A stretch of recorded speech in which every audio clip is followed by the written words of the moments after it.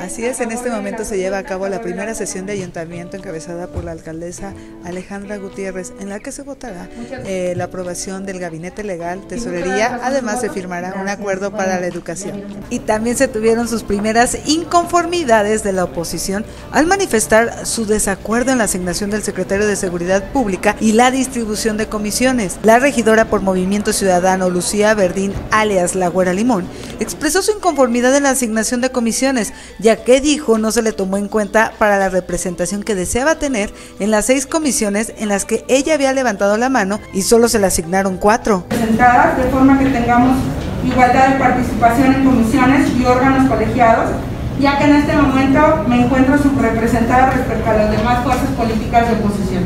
En otro momento, la regidora por Morena, Gabriela Echeverría, refirió como una burla la ratificación de Mario Bravo Arrona al frente de la Secretaría de Seguridad Pública, toda vez que desde su percepción no se han dado resultados. Hoy la bancada de Morena en este ayuntamiento presenta toda su disposición para trabajar y lograr beneficios en favor de la ciudadanía todo lo que la administración anterior dejó. Seguiremos señalando y puntualizando todos aquellos temas de corrupción que fueron evidentes, pero que nunca se resolvieron gracias a que tuvimos un gobierno totalmente cerrado.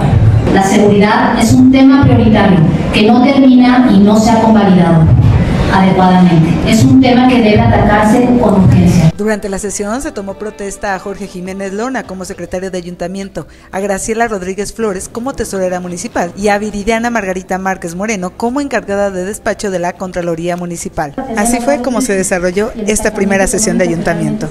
Para Contrapunto News, Saide Ruiz.